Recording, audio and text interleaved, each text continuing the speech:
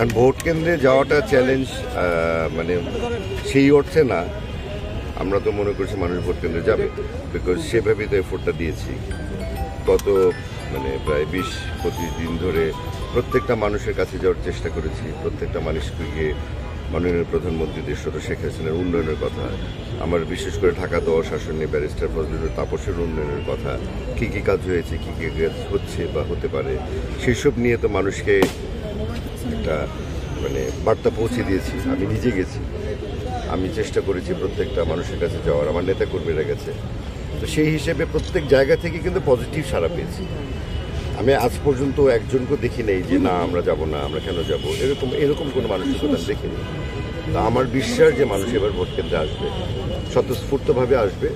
কারণ আমি আমার এই যে আমি কিন্তু মনে করেন যে বিশাল বড় শোডাউন করে রাস্তার মধ্যে ট্রাফিক জ্যাম তৈরি করে মানুষকে বিপর্যস্ত করিনি একবারও।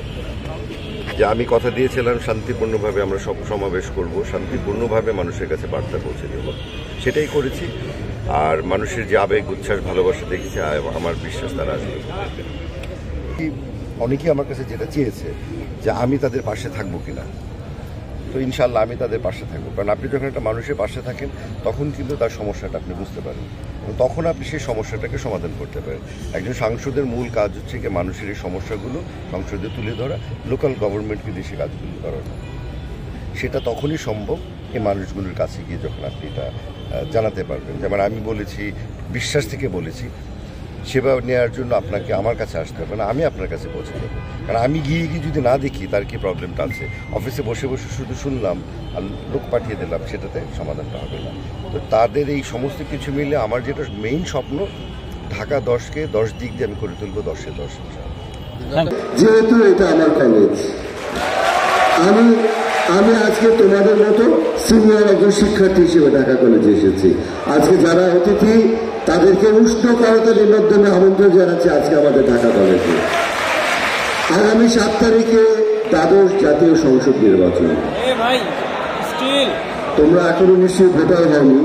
পরিবারের সবাই অনেকে ভোটার আছে। যারা ভোটার তাদেরকে বলবে নৌকার বিজয় ঘটিয়ে আমার বিজয় ঘটিয়ে যেন মাননীয় প্রধানমন্ত্রীর হাতকে শক্তিশালী করা হয় কারণ আমি একজন ঢাকা কলেজের প্রাক্তন ছাত্র। নৌকা নৌকা নৌকা নৌকা নৌকা নৌকা। শিক্ষকদেরকে বলব এবং এই কলেজের সঙ্গে সংশ্লিষ্ট যারা আছেন আমি জানি এখানে অনেক ভোটার পাঁচ ছয়শো ভোটার। বাকি কোথা থেকে কি হবে আমি জানি না। আমি আমাদের প্রধান অধ্যক্ষ মহোদয়কে বলব এখান থেকে যেন শতভাগ ভোট কাস্টিং হয়। সেই কথা আমাকে দিতে হবে। হাত তুলে আমাকে কথা দিতে হবে।